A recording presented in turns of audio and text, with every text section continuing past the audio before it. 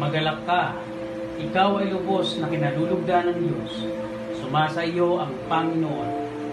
Huwag kang matakot, Maria, sapagkat naging kalugod ka sa Diyos. Makinig ka, ikaw ay maglilihi at manganganak ng isang sanggol na lalaki.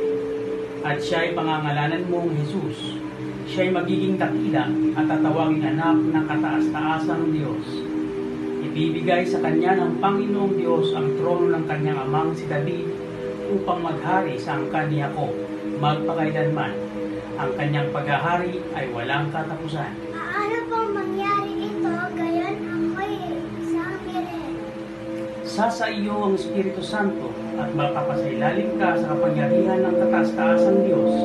Dahil dito, ang isisilang mo'y banal at tatawaging anak ng Diyos. Hindi ba't ang kamag-anak mong si Elizabeth ay baog?